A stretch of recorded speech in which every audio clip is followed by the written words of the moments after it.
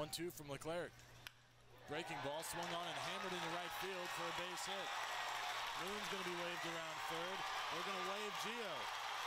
Phillips is off for third. Meyer scores without a throw, and Brett Phillips is into third base with a stand-up triple. And the Hooks lead it. Have cut the lead to six to two. Just a rocket off the bat of Phillips, and Berg kicked it, kicked it into the corner. Oh, a big swing though by Corpus Christi center fielder, and now it's a four-run game. But it also, Chris, just injects some life into this offense.